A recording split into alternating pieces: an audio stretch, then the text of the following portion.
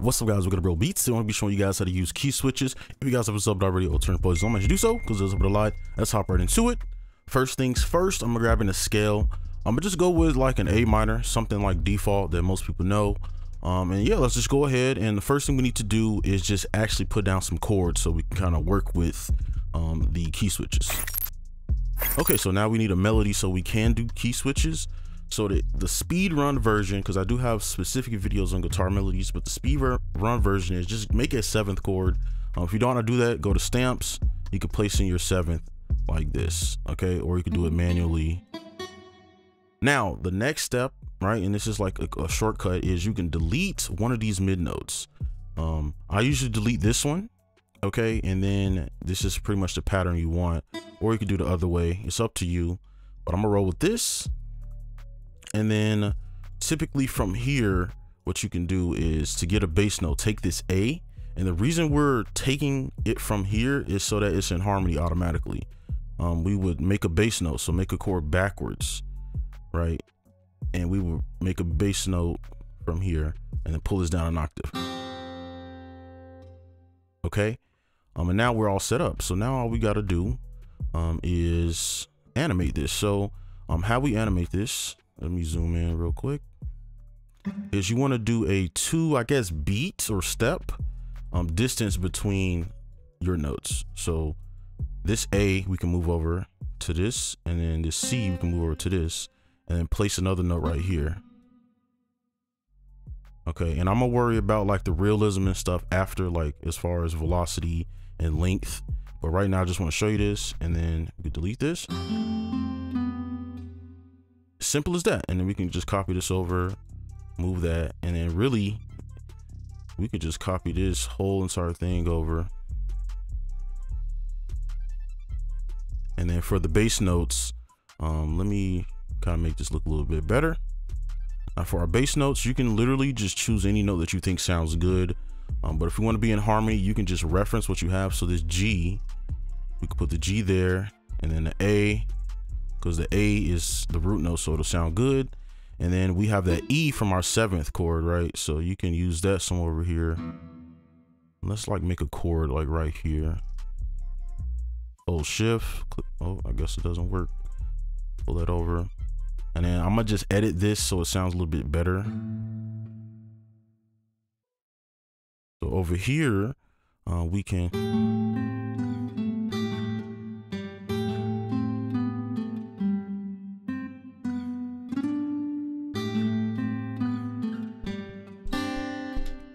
You can see the bass notes aren't playing. I'll fix that later. But I'll just play it all the way through now.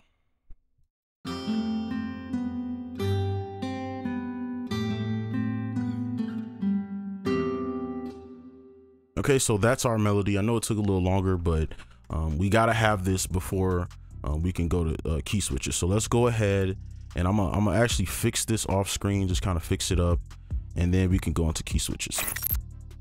Okay, so now let's talk about key switches. Um, so I'm gonna just explain kind of what it is. And basically, the quick rundown is it's kind of adding the human element of an instrument to your piano roll. Okay. Um, so I chose this one because this is the most like basic, right? Um, as far as like ease, because there are plugins that have a lot of stuff that you can do. You can kind of animate and do a lot of stuff. Um, but this is kind of what you'll see. You'll see different colored keys. Okay. Um, so when you see like these red or different colored keys, usually that means that'll change the way that the instrument is played, or it'll give you like a legato or a certain way to play it. Um, you'll probably like if you use stringed instruments like I don't know uh, session strings, you'll see like staccato and stuff like that. So it's pretty much what this is, but with a guitar or like other instruments, right? So if we go to options, and most VSTs now they should have this, where you can kind of choose where you want these to go. Okay, now I just use default just because it's easier for me. But if you kind of want to map this to like C sharp three, you can, and you can choose which ones you want. I usually don't touch this. It's a little doing too much for me, but I know some people they probably want to, um, you know, customize it. Um, and other DAWs, this is a lot easier. I know Studio One, you can actually map the key switches in the DAW itself so that you can play them on the fly. Um, so yeah, that's pretty much it for the key switches. And this blue, usually like the, the large area will be the playable notes, right? Because on an instrument, there's only so much you can play at a time. So you, that'll kind of help with the realism.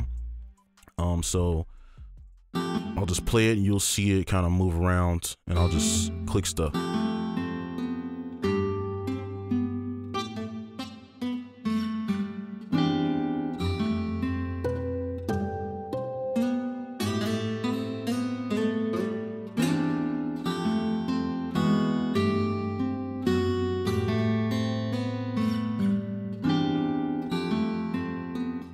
Right? You can see kind of what it does. So that's the key switch. So now let's go ahead and actually make our own key switches.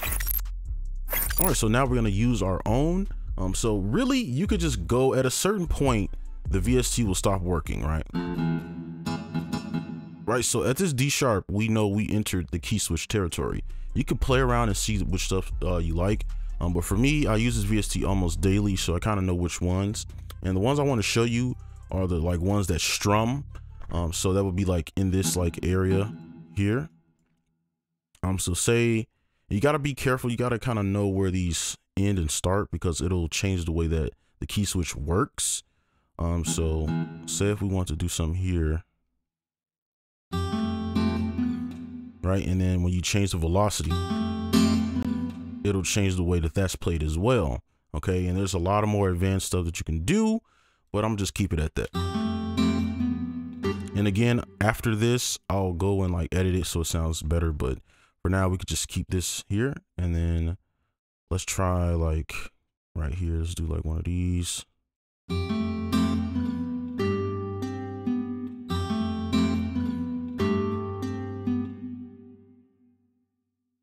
And if you ever need to check back, you can just go to your VST and check which ones it is.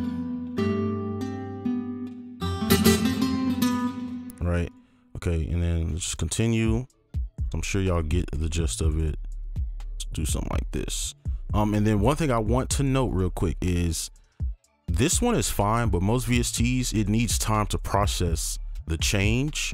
Um, so you can't have it on the same exact like area as your notes. Okay, so what I like to do, right, is you hold shift and scroll or just hold alt and drag them back a bit so the system has time to say oh it's switching the you know key switch or the play style right?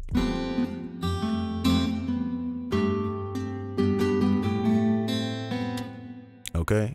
Um so i'm gonna continue with this. I think y'all get it. Um and i'm just kind of finish this out. Do something like that. Um and then over here we could do something very basic. We can um let's use maybe this little thing here. Then let's offset this a bit.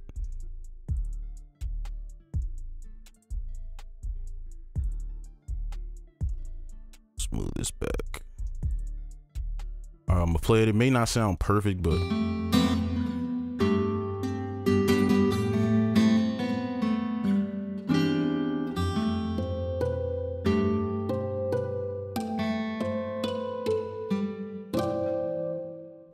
Okay, so that is key switches. So now uh, that's pretty much it for the video. What I'm gonna do now is fix this up and then we can add some other instruments just to kind of get a full melody, all right? Okay, so now we have our other instruments. Now I might speed up these parts just for the sake of the time of the video um, because I already showed you what I wanted to show you. Um, so I'm gonna try to keep it at a decent speed or real time if I can. But this is the piano that I'm using. Um, so yeah, I'm gonna just go in, could just start on our root and just add sounds.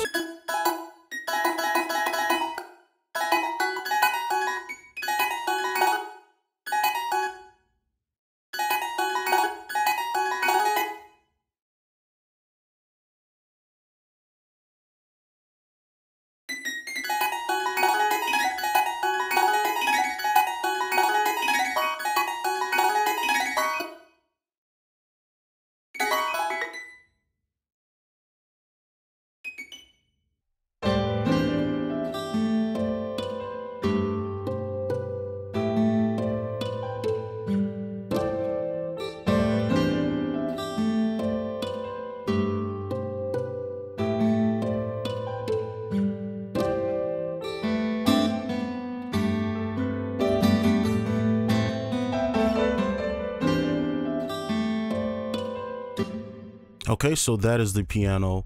I probably will speed that up because that kind of took a little too long, but let's go ahead and add our bass and we'll be done. All right, so here's the bass I'm using, and this is pretty easy. We can just kind of take this, right? Um, just paste it here, and I'm gonna just kind of edit it and make it sound good how I want it. All right, so I'm gonna just go ahead and do that.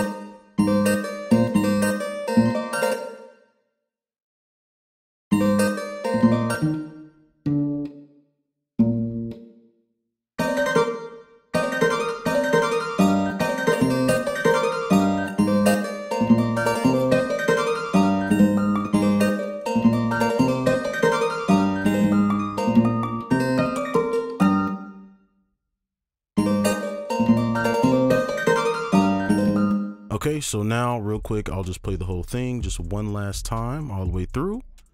Um, probably need to mix this a bit, but here we go.